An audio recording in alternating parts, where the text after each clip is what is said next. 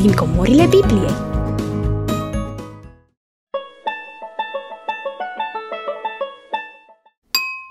În episoadele anterioare am descoperit că Dumnezeu promite să cinstească pe cei ce îl cinstesc. Și în viața lui Daniel s-a devenit această promisiune. Vă aduceți aminte că în fața tuturor Daniel și prietenii lui au fost deosebiți, pentru că l-au cinstit pe Dumnezeu în orice vreme. Apoi am văzut că Daniel a căutat mereu ajutorul lui Dumnezeu. El știa că Dumnezeu este atot știutor și înțelept. Daniel nu s-a bazat pe propria lui inteligență atunci când împăratul a cerut semnificația visului, ci Daniel s-a rugat și a cerut înțelepciune de la cel care este cel mai înțelept, de la Dumnezeu. Haideți să începem și călătoria noastră de astăzi, chemând ajutorul lui Dumnezeu în rugăciune. Roagă-te și tu acolo unde ești. Dumnezeu te ascultă. Tatăl nostru, care ești în ceruri, sfințească-se numele Tău. Vie împărăția Ta, facă-se voia Ta precum în cer, așa și pe pământ. Pâinea noastră cea de toate zilele, dă-ne nouă astăzi și ne iartă nouă greșelile noastre – precum și noi iertăm greșiților noștri și nu ne duce pe noi în ispită, ci izbăvește-ne de cel rău, căci a ta este împărăția și puterea și slava. Ambeci. Amin. Cine ne poate curăța inima de păcat? Domnul Isus Hristos, așa este. Dar cine ne dă nouă putere să trăim o viață curată? Domnul Isus Hristos, exact. Mereu avem nevoie de Domnul Isus. Să cântăm împreună și să spunem și azi că putem totul în Hristos.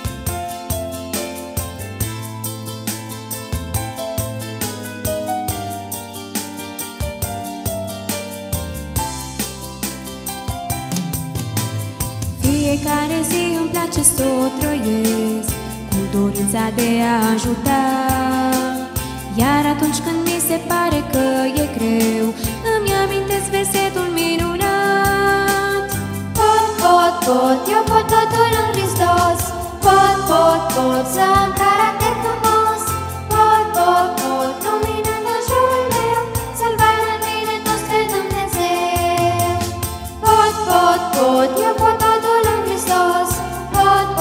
pot, pot să am caracter frumos Pot, pot, pot, luminând în jurul meu Să-L vadă în mine toți pe Dumnezeu. Dacă vreun coleg la școală m-a jignit Eu nu răspund cu același fel. Îi zâmbesc și spun frumos să fii iubit Și încerc să mă prietenesc cu el. Pot, pot, pot, pot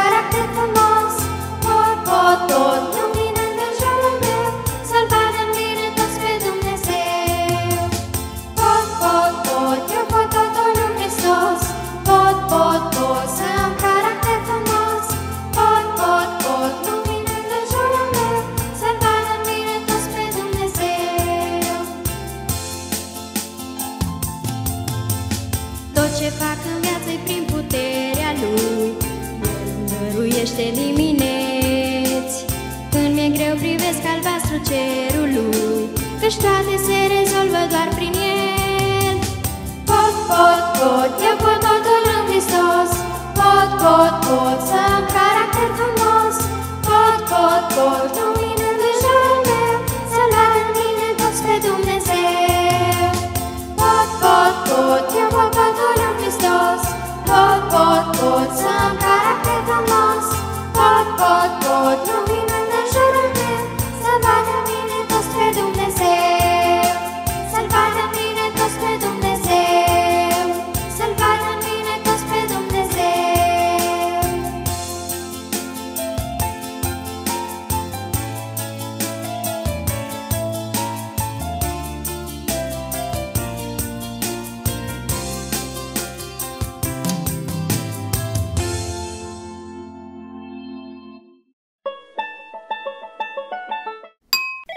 Bine, bine, haide că o să mă gândesc și o să te sun. Da, o să-ți dau un răspuns, o să vorbesc cu părinții mei și o să te anunț. Bine, bine, pa! M-a sunat Adela, colega mea de la școală. A spus că mă invite la o petrecere cu ocazia zilei ei de naștere. Și va fi weekendul acesta. Și vrei să te duci? Păi, așa m-am gândit să mă duc, dar familia ei nu este creștină. Însă Adela insistă atât de mult și spune că nu este politicos să refuzi o invitație. Dar ce se întâmplă la o astfel de petrecere? Păi, se organizează într-un loc frumos amenajat, unde ne întâlnim mai mulți copii, ne jucăm, povestim, mâncăm și facem multe lucruri. Însă unii mai și dansează. Cu alte cuvinte, e distracție.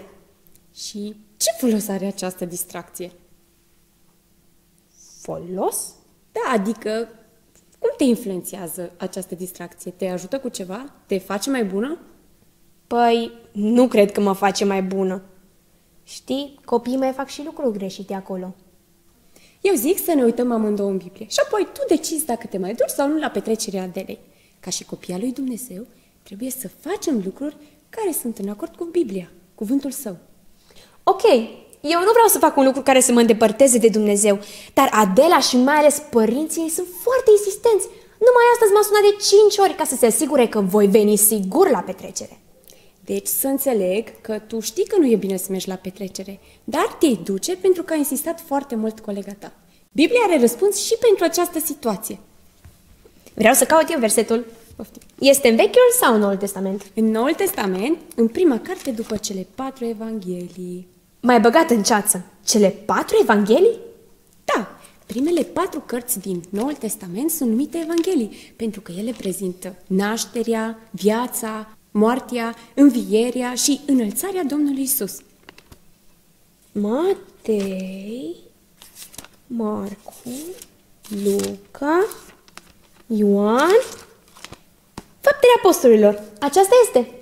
Da, în Cartea Faptele Apostolilor ne sunt evidențiate cele mai importante lucruri din viața apostolilor. În capitolul 5, versetul 29, Capitolul 5, versetul... L-am găsit! citește. Petru și apostolii ceilalți, drept răspuns, i-au zis Trebuie să ascultăm mai mult de Dumnezeu decât de oameni. Da, ce crezi că vrea Dumnezeu să ne spună prin acest verset? Că trebuie să ascultăm mai mult de El decât de oameni. Exact! Ei bine, ascultarea de Dumnezeu nu este opțională. El este creatorul nostru. El e cel care ne dă viață. Și noi trebuie să împlinim voia Lui în fiecare zi. Chiar dacă ceilalți pun presiune pe noi și ne spun ce ar fi mai bine să facem, noi, copiii lui Dumnezeu, vom alege să facem ceea ce este plăcut lui Dumnezeu. Dar atunci cei din jurul nostru nu se vor supăra. Este posibil să se supere, poate chiar să nu mai vorbească cu noi. Dar acest lucru nu trebuie să ne determine să facem lucruri care nu-i sunt plăcute lui Dumnezeu. Dacă vei citi în Biblie, vei vedea că oamenii lui Dumnezeu au avut mereu astfel de provocări și au fost gata să plătească prețul.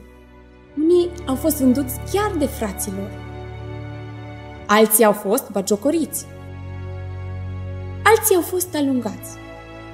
Unii și-au pierdut chiar viața pentru că au ales să asculte de Dumnezeu în ciuda a ceea ce spuneau oamenii din jurul lor.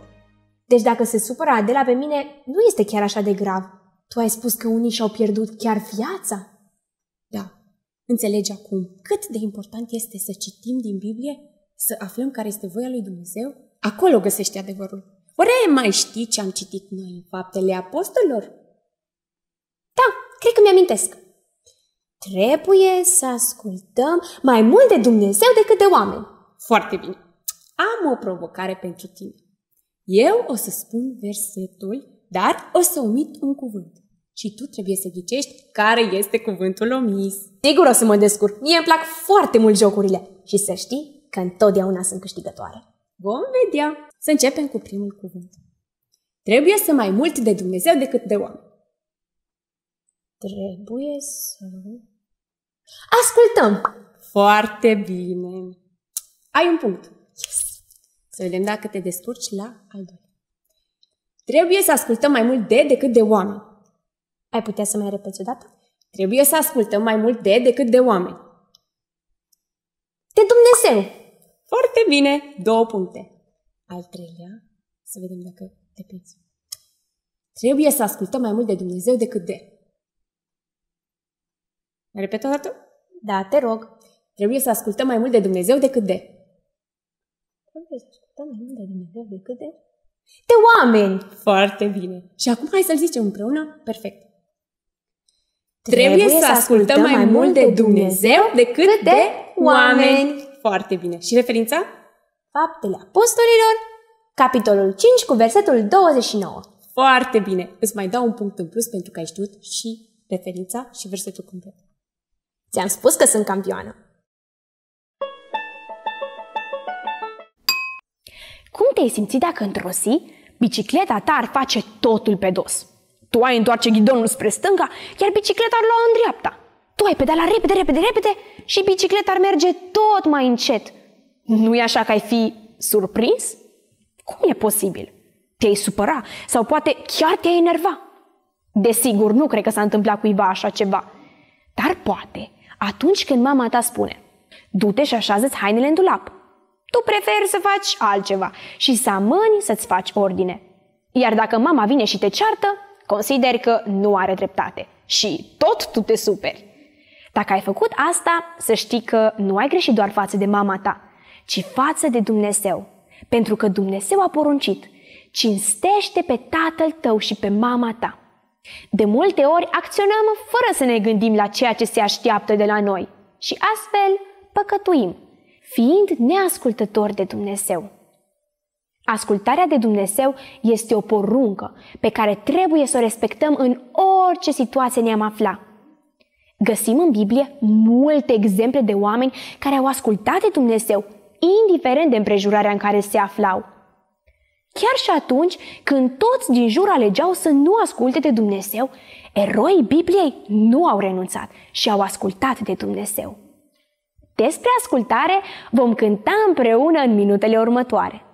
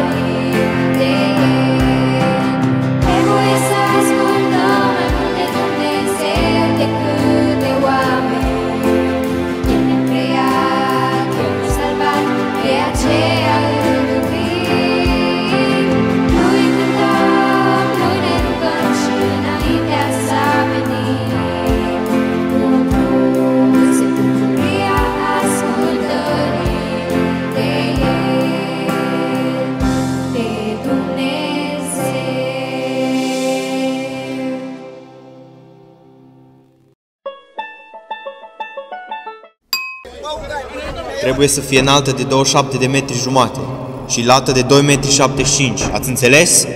2 metri 75 și să fie de aur. Aur! Cam asta se întâmpla în Valea Dura după ce împăratul a dat poruncă să fie construită o mare statuie de aur. Oamenii se uitau probabil mirați la ce se petrecea acolo. Pentru ce a fost construită statuia? Pentru ce vrea împăratul o statuie așa de mare? Împăratul Nebucadnețar, conducătorul puternic al Imperiului Babilonian, a cucerit multe țări, inclusiv țara iudeilor. El dorea să aducă aceste națiuni împreună, arătându-le cât de măreț este el și obligându-le să-l onoreze pe el și Dumnezeii lui. Împăratul a trimis în tot imperiul mesageri cu trompete pentru a aduna oamenii. Tuturor conducătorilor provinciilor din orice parte a imperiului li se poruncește să vină la ceremonia de dezvăluire a statuii. Au anunțat ei. Porunca a ajuns la toți conducătorii din, de provincii. În curând, oamenii importanți s-au adunat în fața statuii de aur strălucitoare. Printre ei se numărau și prietenii lui Daniel. Shadrach, Meșac și Abednego. Ei erau prizonieri în Babilon și dețineau funcții importante în împărăție, dar ei nu credeau în Dumnezeii babilonieni. Ei îl cunoșteau pe singurul Dumnezeu adevărat, cel care a făcut cerurile și pământul.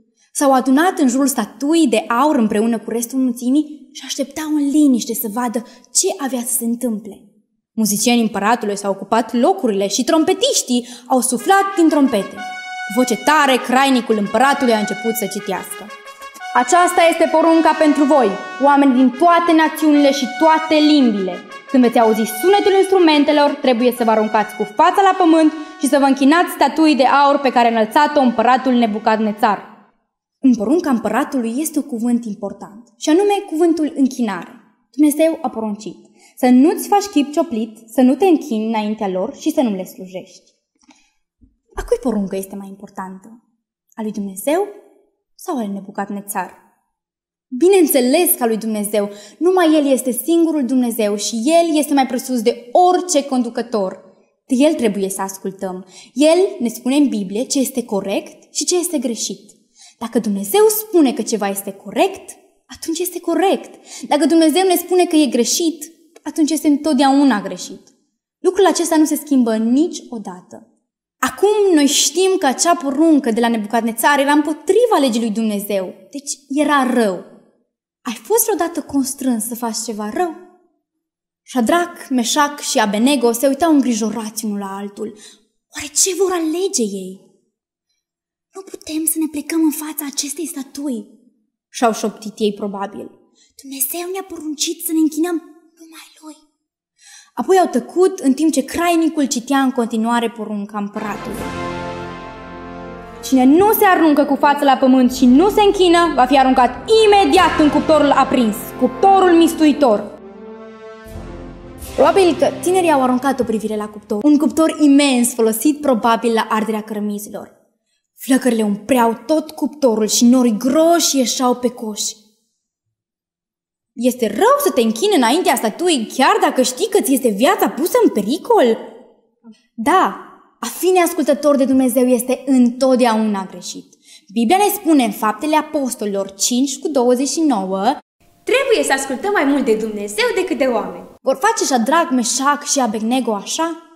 Împăratul Nebucadnețar a poruncit oamenilor săi să cânte. În timp ce sunetul instrumentelor răsuna în vale, toți din acea mulțime imensă care înconjurau statuia au căzut cu fața la pământ și s-au închinat. Mm, aproape toți. Shadrach, Meșac și Abenego au rămas în picioare curajos, refuzând să se închine statuii. Ei au ales să asculte de Dumnezeu și să facă ceea ce era corect. Știau pericolul în care se aflau, dar pentru ei ascultarea de Dumnezeu era mai importantă. Dumnezeu le-a dat curajul să rămână în picioare atunci când toți ceilalți s-au plecat. Dacă ești creștin, cu siguranță îți vei da seama că sunt momente în care vei fi diferit de ceilalți din mulțime, deoarece tu asculți de Dumnezeu. Ce vei face? Alegi să asculți de Dumnezeu. Este greu să fii diferit de mulțime, dar adesea creștinii trebuie să facă această alegere, cum au făcut Shadrach, Meșac și Abednego. Deci ei nu s-au închinat. Ce-au zis oamenii din jur? Da, ce-au zis slujitorul împăratului? Cred că oamenii din mulțime au fost uimiți să vadă că cineva încălca porunca lui Nebucadnețar. Cei de lângă împărat erau tulburați și s-au ridicat să vorbească. Să trăiești veșnic, împărate! Ai dat o poruncă după care toți ce vor auzi sunetul orchestrei să se arunce la pământ și să se închine chipului de aur. Oricine nu va face aceasta va fi aruncat în mijlocul unui cuptor aprins. Dar sunt niște iudei care nu țin seamă deloc de tine, împărate. Ei nu slujesc Dumnezeilor tăi și nu se închină statui de aur pe care tu ai înălțat-o. Nebucatnețar s-a mâniat și a strigat. Aduceți la mine! Când tinerii au fost aduși înaintea împăratului, acesta i-a întrebat. Oare intenționat voi, Shadrag, Meșac și Abenego, nu slujiți Dumnezeilor mei și nu vă închina statui de aur pe care eu am înălțat-o? Poate că împăratul s-a gândit că ei n-au înțeles porunca pe care le-a dat-o. El a vrut să le mai dea o șansă. Foarte bine, pregătiți-vă. Și atunci când va cânta din nou orchestra, să vă aruncați cu fața la pământ și să vă închinați în fața statuii. Dacă nu, veți fi aruncați în cuptorul mistuitor și care este Dumnezeul acela care vă va scoate din mâna mea? Ce-ai fi făcut tu? Amintește-ți, ce este greșit este întotdeauna greșit. Ce este corect este întotdeauna corect. Shadrach, Meșac și Abednego ar fi putut să spună, haideți să ne plecăm, dar în inimile noastre nu ne vom pleca înaintea statuii. Dar cuvântul lui Dumnezeu era clar, să nu te închini înaintea lor. Cei trei erau hotărâți să asculte de Dumnezeul pe care îl iubeau și în care se încredeau. Dar ce au zis cei trei tineri împăratului? În Biblie găsim ceea ce au spus ei. Shadrach, Meșac și Abednego au răspuns împăratului Nebucadnețar următoarele. Nu avem nevoie să-ți răspundem la cele de mai sus. Iată, Dumnezeu căruia îi slujim poate să ne scoate din cuptorul aprins și ne va scoate din mâna ta, împărate. Și chiar dacă nu ne va scoate, să știi, împărate, că nu vom sluji Dumnezeilor tăi și nici nu ne vom închina chipului de aur pe care tu l-ai înălțat. Cu alte cuvinte, noi nu îi vom urma pe cei ce fac răul, noi vom asculta de Dumnezeu. Dumnezeu a promis prin profetul Isaia, nu te teme de nimic, căci eu te izbăvesc, te chem pe nume, ești al meu. Dacă vei merge prin foc, nu te va arde și flăcările nu te vor aprinde. Căci eu sunt Domnul Dumnezeul tău, Sfântul lui Israel, Mântuitorul tău. Atunci când trebuie să te comporți altfel decât restul lumii, amintește-ți promisiunile lui Dumnezeu. Subliniază promisiunile lui Dumnezeu în Biblia ta. Memorează-le. Pentru Dumnezeu ești la fel de prețios, așa cum au fost Shadrach, Meșac și Abenego. Dar oare împăratul ce-a făcut? I-a lăsat să plece? Nebucadnețar s-a mâniat foarte tare. El s-a uitat înfuriat la ei. Încinesc cuptorul!" a strigat el. Încălziți-l de șapte ori mai mult decât este normal!" Când cuptorul radia o căldură îngrozitoare, împăratul a chemat pe cei mai buni soldați ai săi și a poruncit. Legați-i pe acești trei bărbați și aruncați în cuptor! Soldații au legat pe cei trei tineri și au aruncat în cuptor, dar căldura era așa de mare încât i-au omorât pe loc pe soldați. Shadrach, Meșac și Abednego au căzut legați în mijlocul cuptorului mistuitor și flăcările i-au înconjurat imediat. Împăratul se uita atent, așteptând să vadă trupurile lor mistuind de foc. Dar spre uimirea lui, el a văzut patru oameni dezlegați și mergând prin mijlocul flăcărilor. Patru? Împreună cu ei mai era o persoană. Priviți! a exclamat împăratul. Eu văd patru oameni mergând deslegați în mijlocul focului și nevătămați, iar al patrulea seamănă cu un fiu de Dumnezeu. Cine era cel al patrulea bărbat care era împreună cu cei trei tineri din cuptor? Cel al patrulea a fost poate un înger trimis să-i protejeze pe cei trei tineri. Dumnezeu i-a protejat chiar și în cuptorul încins. Dacă tu ești copilul lui Dumnezeu, Dumnezeu poate să-ți dea curaj să rămâi neclintit lângă El, în ciuda tuturor lucrurilor amintește-ți promisiunea Lui pentru tine scrisă în Biblie. Nu vă temeți și nu vă spământați de ei, căci Domnul Dumnezeul tău va merge El însuși cu tine, nu te va părăsi și nu te va lăsa. El este ajutorul tău. Cere lui Dumnezeu să-ți dea curaj să rămâi neclintit în lucrurile care știi că sunt corecte și să refuzi ceea ce este rău. Împăratul a fost foarte surprins să-i vadă pe tineri nevătămați, iar lângă ei încă un bărbat. Venind mai aproape de cuptor, împăratul a simțit căldura mistuitoare în timp ce striga Shadrach, Meșac și Abenego, slujitorii Dumnezeului celui prea înalt, ieșiți afară și veniți încoace! Slujitorii împăratului s-au îngrămădit să-i vadă pe toți acei oameni care au fost în cuptor, dar care nu fusese răniți. Focul nu le arsese nici părul, nici hainele. Nu miroseau deloc a fum. Împăratul a proclamat mărăția singurului Dumnezeu adevărat, care îi salvase pe tineri. Acțiunea lor, plină de curaj, l-a făcut pe împărat să se gândească la Dumnezeu. La fel va fi și pentru tine. Atunci când asculți de Dumnezeu și ești diferit de ceilalți, ei se vor gândi la Dumnezeu. Poate chiar te vor întreba despre El. Cei trei tineri au fost înălțați în funcții și mai înalte în împărăție. Dumnezeu îți poate da și ție curaj să rămâi neclintit lângă El. Că ești copilul lui Dumnezeu. Vei rămâne neclintit săptămâna aceasta, indiferent de ce s-ar întâmpla? Dacă alții te botjocoresc, te provoacă referitor la credința ta în Dumnezeu sau îți cer să faci ceva ce nu i-ar plăcea lui, amintește-ți promisiunea lui Dumnezeu și cere să-ți dea curaj să asculți mai mult de Dumnezeu decât de oameni. Mă bucur că am descoperit întâmplarea aceasta din viața celor trei prieteni a lui Daniel. Dumnezeu este cel care poartă de grijă copiilor săi și le dă putere să aleagă ceea ce este corect. Știu ce îi voi spune Adele în legătură cu petrecerea din weekend. Vreau să mă rog lui Dumnezeu să mă ajute și pe mine să ascult de El mereu. Doamne, îți mulțumesc pentru cuvântul Tău și pentru lecția pe care astăzi am învățat-o. Te rog frumos, dăm pricepere și determinare ca să știu întotdeauna să iau deciziile cele mai corecte. Chiar dacă va fi greu, vreau să fac întotdeauna voia Ta. Îți mulțumesc că mă asculți. Amin.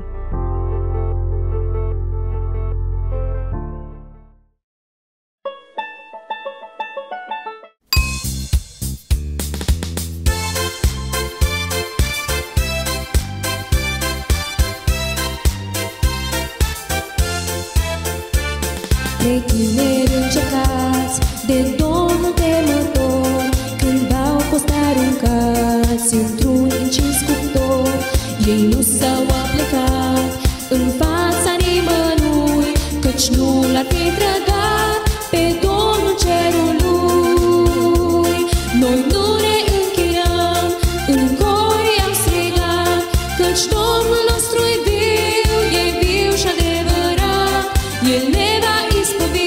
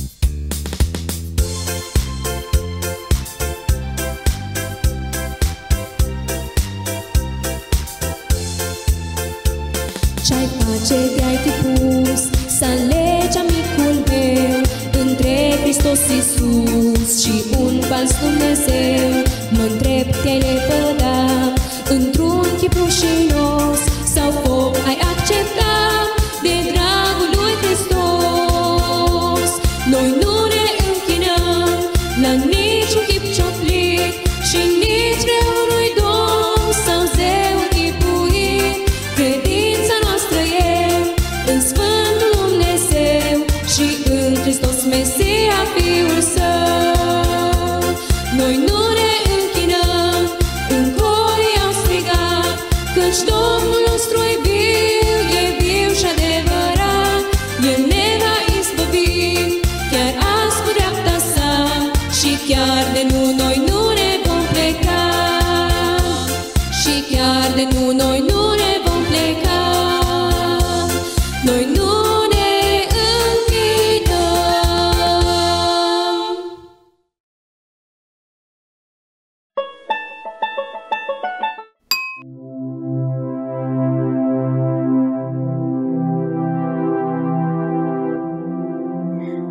Nu putem renunța la Biblie, murmură diaconul către prietenul său. Ne va fi greu să o ducem, dar este prea valoroasă ca să o lăsăm aici. Voi renunța la altceva, însă Biblia trebuie să o luăm cu noi. Cei doi oameni făceau parte dintr-o bisericuță armeană din munții Siriei. Peste creștinii din această țară s-a abătut o persecuție groaznică, în timp ce turcii încercau să-i stârpească pe toți cei ce credeau în Isus. Vin turcii pe aici!" Strigase un sol îngrozit. Și iată că acum tot satul se pregătea să părăsească valea. Bărbați, femei și copii, toate familiile din biserică erau nevoite să fugă în munți. Oamenii erau foarte săraci. Foarte puțini aveau măgari ca să transporte puținele lor lucruri, așa că porniră pe jos, luând cu ei doar strictul necesar. Curând, un lung șir de oameni urca pe drumul spre munte, trăgându-și copiii după ei. Grăbiți-vă! Din turcii și ne vor ucide!" repetau ei în continuu. Diaconul bisericii mergea și el împreună cu ceilalți, ducând prețioasa Biblie. În acele zile, cei mai mulți creștini armeni nu aveau o Biblie personală, așa că Biblia bisericii era foarte prețioasă. Această Biblie era una deosebită, mare și grea, făcută pentru a fi folosită la învon. A fost primită în dar de la misionarul Elias Riggs. În timp ce refugiații se grăbeau, cărarea devenea tot mai abruptă și stâncoasă. Tati, am în brațe!" se auzeau plânsetele copiilor obosiți. În curând, mulți dintre ei, fiind obosiți, au început să-și abandoneze pachetele cu mâncare și îmbrăcăminte lângă cărare, deoarece nu mai aveau putere să le care. Însă diaconul căra Biblia în continuare. Dar în cele din urmă l-au lăsat și pe el puterile. Pe obrajii săi se rostogoleau lacrimi de istovire în timp ce cu mare grijă așeză Biblia pe o piatră de lângă cărare. Doamne, iartă-mă, se rugă el. Ai grijă de Biblia noastră, pentru că eu nu mai pot. Luându-și în brațe copilul care plângea, diaconul înainte cu greu. Noaptea se apropia, iar creștinii erau nevoiți să se grăbească. În timp ce se lăsa întunericul, o mamă urca poteca împreună cu cei doi copii ai ei. Rămase în urmă pentru că nu a fost în stare să țină pasul cu ceilalți. Trebuie să mă odihnesc din nou, gemu femeia. Nu am putere să merg mai departe. Cu picioarele obosite și tremurânde, se așeză pe o piatră de lângă marginea drumului. Dar simți ceva. Pipăind de desubt, pentru neric, mâinile ei descoperiră coperta din pielea un, a unei cărți. Aceasta era Biblia. E chiar Biblia bisericii noastre, gâfâi ea cuprinse de spaimă. Cine ar fi putut să o lase aici? Trebuie să fac cumva să o iau cu mine. După ce se odihni puțin, femeia se ridică în picioare. Renunțând la pătura pe care o luase ca să-și învelească pruncii, alesese să ducă în schimb Biblia.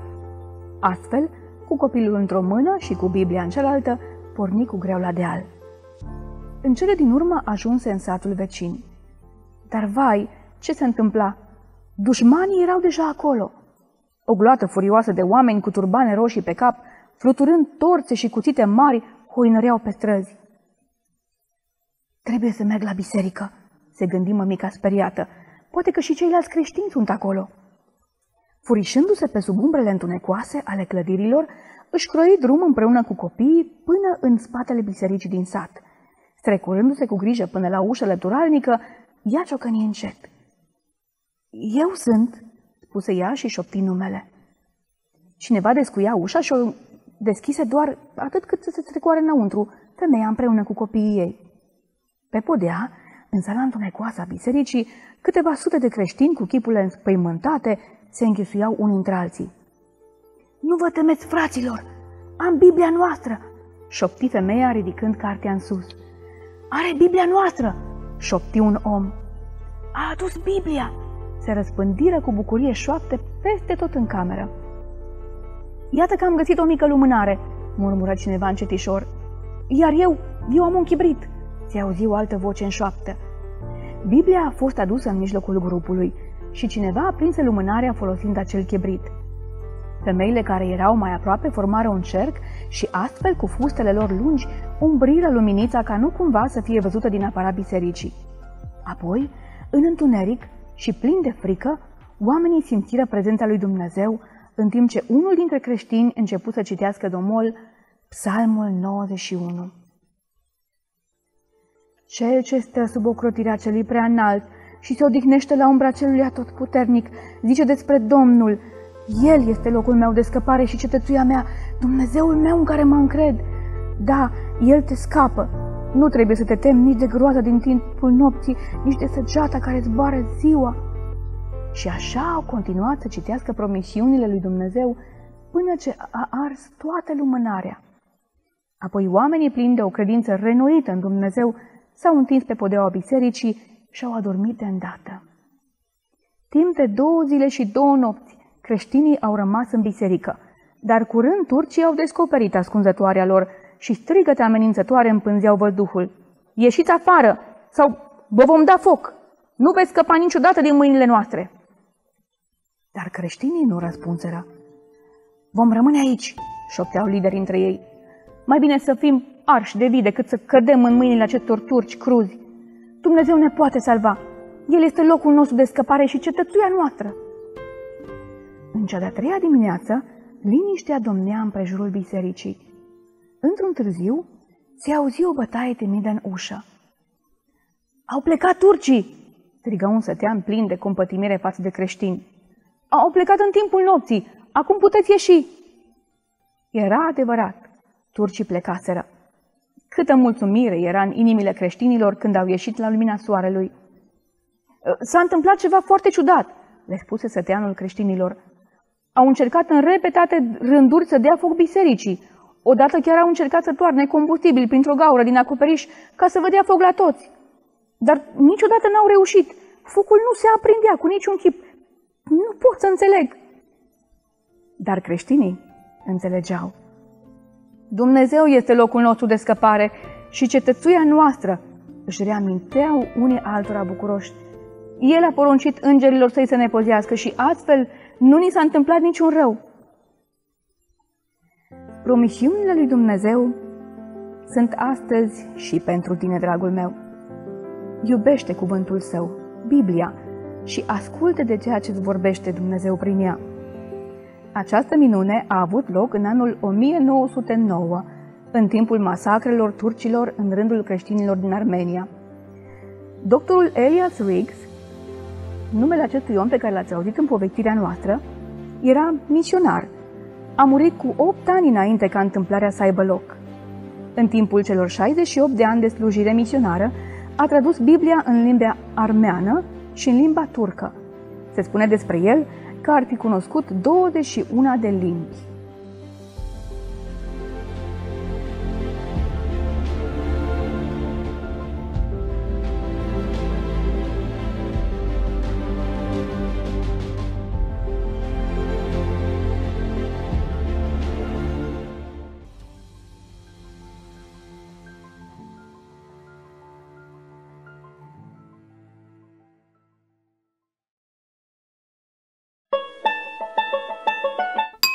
Pedeapsa pregătită de Nebucanețar pentru cei care nu se închinau înaintea statuii era îngrozitoare.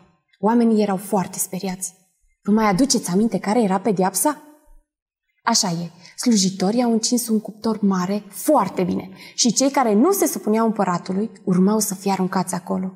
Printre toți acei oameni au fost trei tineri care nu au cedat în fața împăratului și au ascultat de Dumnezeu, chiar dacă știau că vor fi aruncați în mijlocul flăcărilor. Vom confecționa împreună un mic obiect care ne va duce cu gândul la cuptorul mistuitor și la modul în care Dumnezeu i-a salvat pe cei trei tineri din mijlocul flăcărilor.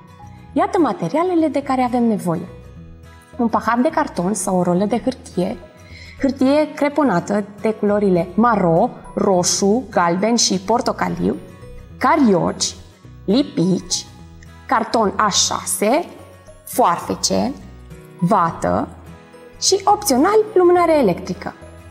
Să ne apucăm de treabă! Tăiem un dreptunghi de hârtie creponată cât să acopere exteriorul paharului de carton. Pe bucata de carton trasăm un cerc cu ajutorul paharului.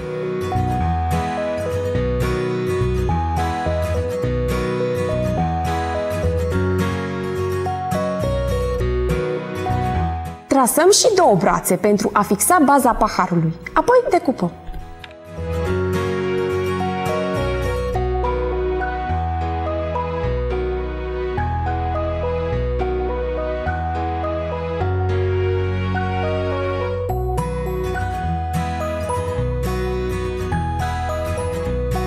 aplicăm lipici pe exteriorul paharului. Acoperim bine cu hârtia creponată.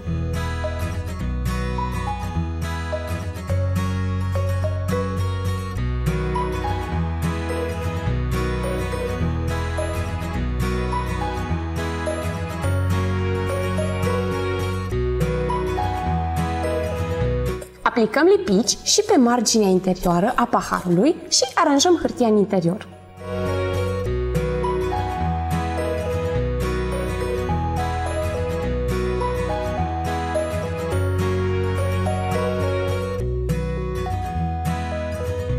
Trasăm forma unei uși și decupăm, dar nu de tot, pentru a putea deschide.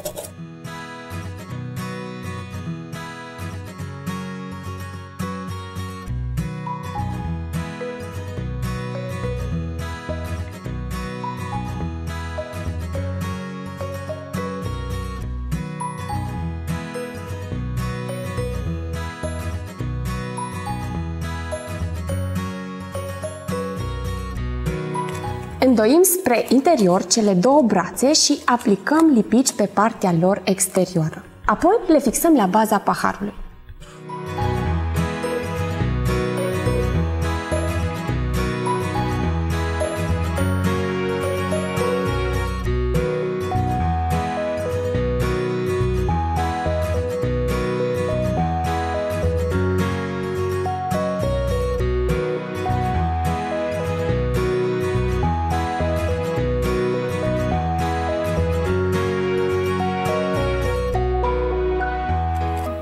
Așezăm lumânarea electrică în pahar.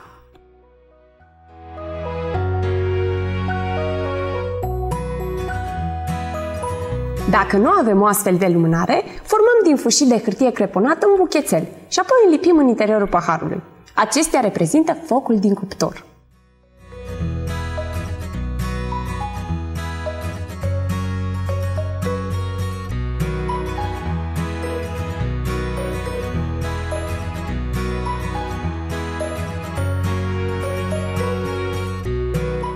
Una din resturile de carton o fixăm deasupra paharului și apoi lipim bucăți de vată pe ea.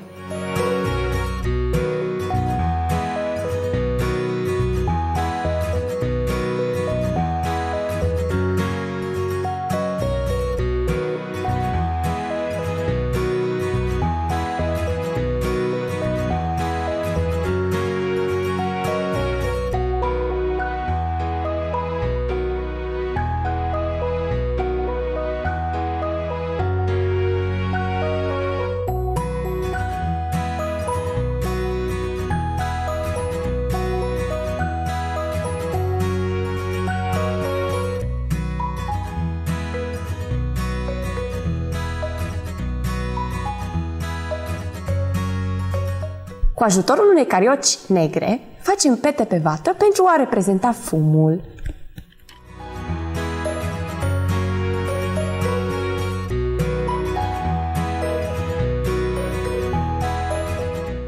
Ce putem face acum este să trasăm liniile de la cărămiz.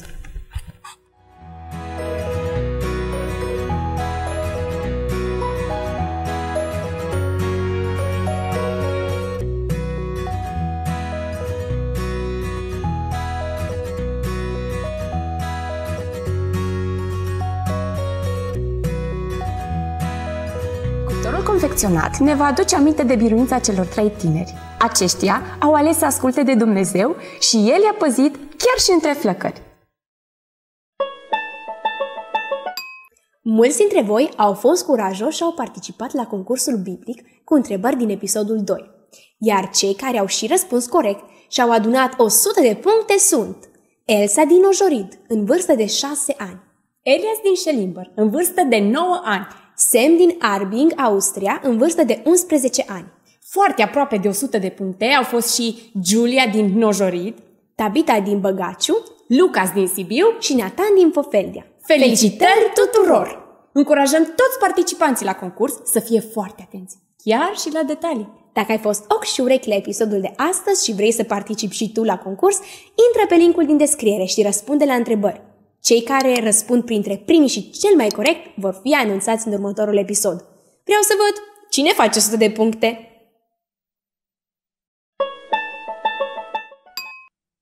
Felicitări pentru toți copiii care și-au luat timp să confecționeze semnul de carte. Sunteți într-adevăr foarte talentați. Pozele primite până acum le aparțin următorilor copii. Elsa Criangă, Giulia Creangă Iudita Chiriță, și Timeia Chiriță. Felicitări! Dacă vei confecționa cuptorul, nu uita să ne trimiți și nouă poză. Tare mult ne-am bucurat să te vedem! Postează poza ta cu cuptorul făcut pe pagina de noastră de Facebook sau trimite-ne un e-mail. Găsești în descriere atât pagina noastră de Facebook, cât și adresa noastră de e-mail. Nu uita! Dacă primim poza ta într-o săptămână de la lansarea episodului, atunci aceasta va apărea în episodul 4. de-abia aștept să văd cuptoarele voastre. Și eu!